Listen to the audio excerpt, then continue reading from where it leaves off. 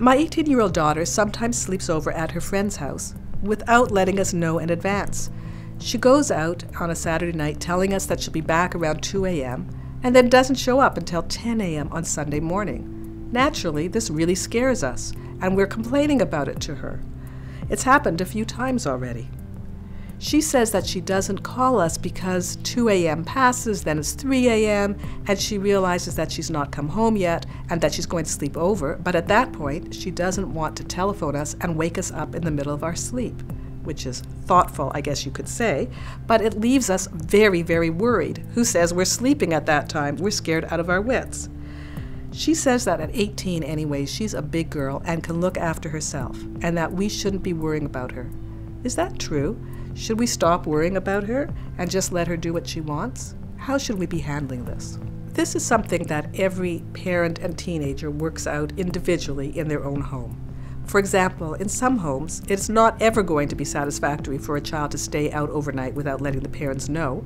And in some homes, this could cause a, a negative consequences to happen where the parent says, That's it, you can't go, you're grounded, you can't use my car, you can't, whatever. And the child at 18 still accepts parental discipline. In other homes, the child really doesn't go for this, and the parents don't even know how to apply it. And what they do is more what we'll call laissez-faire type of parenting, where the child, where the parent simply says, um, "Okay, you're going out, have a good time," and the parents go to sleep and really don't think about where the child is and don't wonder about it because a lot of the time the child is actually staying at friends' houses.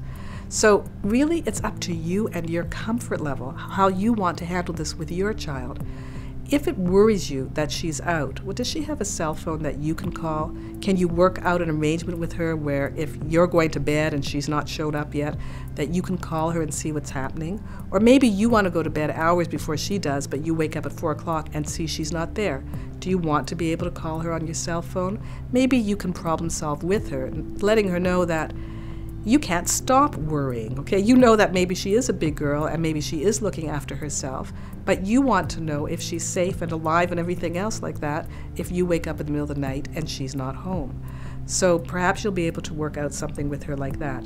People who love each other and care for each other try to make each other feel comfortable, and you can stress that as well. It's not just a matter of being big. You're also big, but how would she feel if you just disappeared in the night and, you know, didn't let her know when she was sleeping in her bed and you just went out of town for a few days and didn't mention it to her? I'm sure she'd be worried. So you need to have kind of a heart to heart and work out a compromise of some kind with this girl.